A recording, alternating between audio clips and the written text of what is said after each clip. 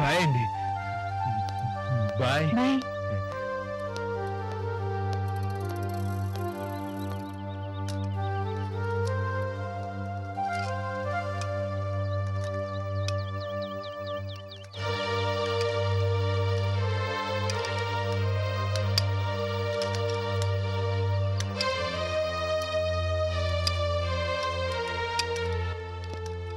రే మిమ్మల్ని ఏమైనా cycle repair చేయమంటున్నాను బోల్ట్ ఓడదేయమంటున్నాను త్వరగా కానివ్వండి రా.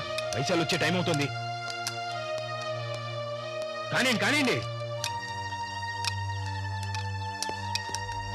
కానీరా. అయిపోతుందిరా.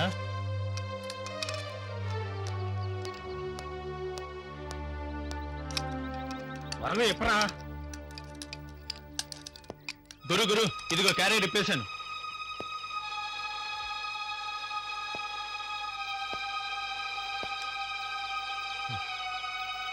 ఈ క్యారియర్తో వైశాలి కెరియరే మారిపోతుంది.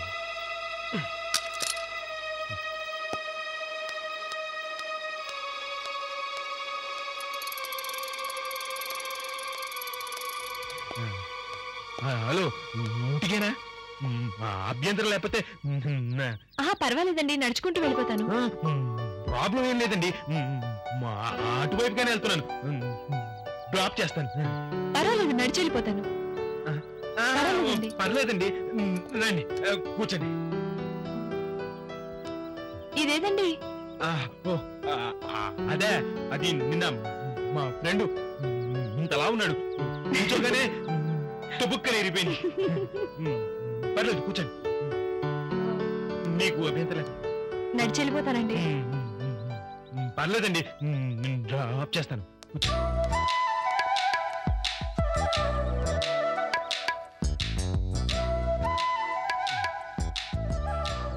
కూర్చున్నారా?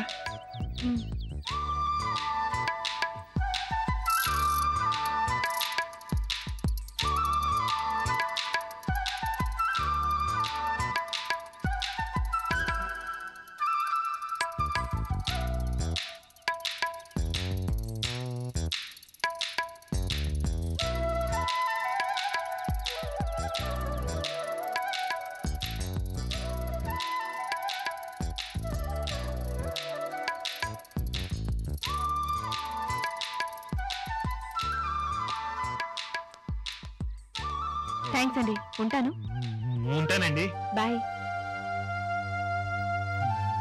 బాయ్. బాయ్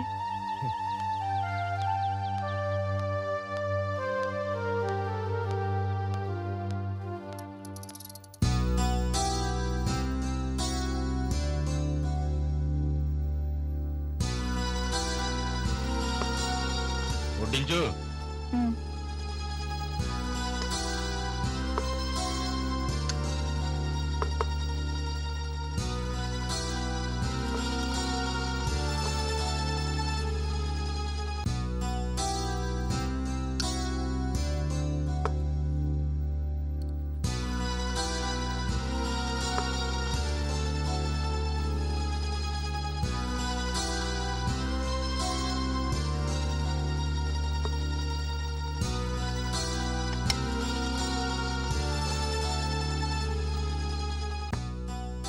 అమ్మాయి? ఇంతకు ఆదర్శ్ ఏం చదువుతున్నాడు? ఎంఏ గోల్డ్ మెడలిస్ట్ అమ్మా. ఉద్యోగం సద్యోగం ఏమన్నా ఉందా? ఆ ఏదో చిన్న ఉద్యోగం చేస్తున్నాడు నాన్న. అమ్మాయి ఆ అబ్బాయికి చెడ్డ అలవాట్లేం లేవు కదా? అదే సిగరెట్ అది అటువంటి చెడ్డ అలవాట్లేం లేవుగా? నాకు తెలిసినంత వరకు అలాంటిదేం లేదు నాన్న. కాకపోతే అతనికి ఒక పెద్ద చెడ్డ అలవాటు ఉంది.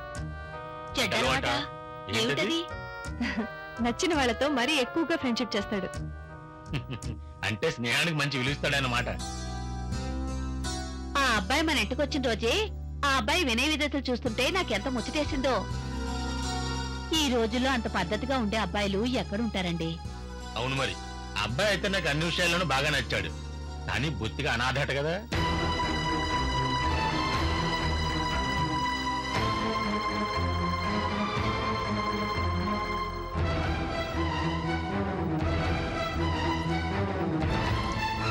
అయ్యో అదేమిటి అలా చేయగడిగేసుకుంటున్నావు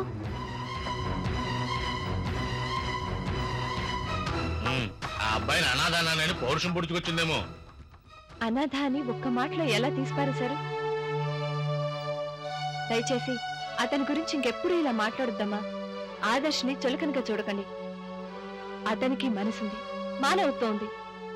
ఏ ఉద్యోగం లేకపోయినా ఏవో ట్యూషన్స్ చెప్పుకుంటూ అప్పుడప్పుడు టైప్ ఇన్స్టిట్యూట్లో పనిచేస్తూ ప్రతి నెల ఒక అనాథాశ్రమానికి మూడు వేల రూపాయలు పంపిస్తుంటాడు. అలాంటి మనిషికి మేమున్నా ఉంటూ సాయపడాలి కానీ ఇలా ఎగతాళిగా మాట్లాడకూడదు. మీరు అతన్ని ఇలాగే చులకనగా చూస్తే నేనే అతన్ని మన ఇంటికి రావద్దని చెప్పేస్తాను. ఆగమ్మా తొందరపడి అలాంటి పని చేయకు.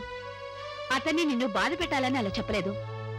మాకంటే అబ్బాయి గురించి నీకే ఎక్కువ తెలుసు కాబట్టి అలా అడిగామమ్మా అయినా సరే రేపు దూరం సంబంధం వాళ్ళు మన ఇంటికి వస్తున్నారు. వాళ్ళ అబ్బాయి అమెరికాలో ఉంటున్నాడు. తల్లిదండ్రులుగా నీ పెళ్ళి విషయంలో ఒక నిర్ణయానికి రావాలి కదా.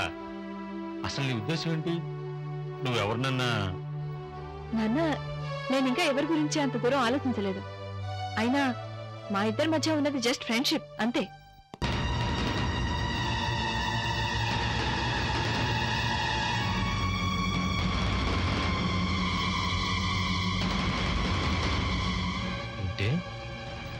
నీకు నాకు మధ్య ఉండేది కేవలం ఫ్రెండ్షిప్ రేపు చూపిస్తానే మన మధ్య ఏ షిప్ ఉందో.